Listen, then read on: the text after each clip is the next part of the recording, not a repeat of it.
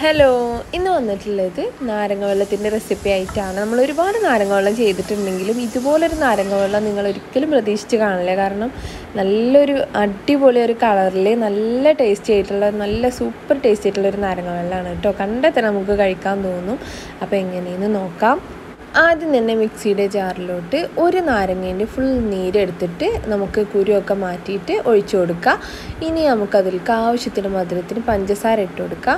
ഞാനിവിടെ നാലഞ്ച് സ്പൂണൊക്കെ പഞ്ചസാര എടുത്തിട്ടുണ്ട്. കാരണം അത്യാവശ്യം ക്വാണ്ടിറ്റിയിൽ ഞാൻ ഉണ്ടാക്കുന്നുണ്ട് കേട്ടോ. കാരണം വലിയൊരു നാരങ്ങയാണ് എടുത്തിട്ടുള്ളത്.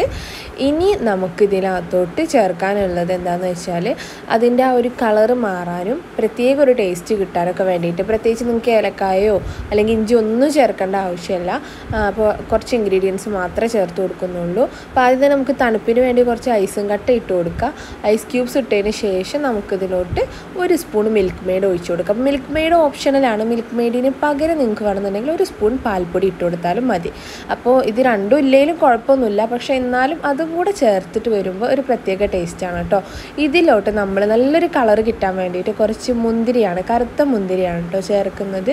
ജ്യൂസ് മുന്തിരി തന്നെ വേണമെന്നില്ല. സാധാ സാധാ നമ്മൾ കഴിക്കുന്ന മുന്തിരി ഇല്ലേ അതെടുത്താലും മതി. അതിന് തോലൊന്നും അതിലടിഞ്ഞ് കിട്ടിയാൽ മതി.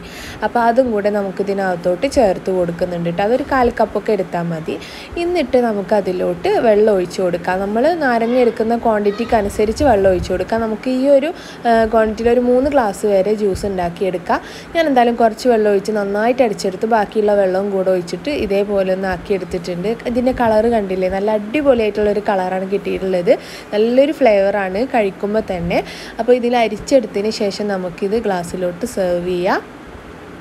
നല്ല ടേസ്റ്റാണ് അതേപോലെ തന്നെ നമ്മൾ ഈ ഏലക്കായും ഇഞ്ചി ഒന്നും ചേർത്തിട്ടില്ല. അതില്ലാതെ തന്നെ നല്ലൊരു ഫ്ലേവറാണ് നമ്മൾ മുന്തിരിയും ഇതും ചേർക്കുമ്പോൾ.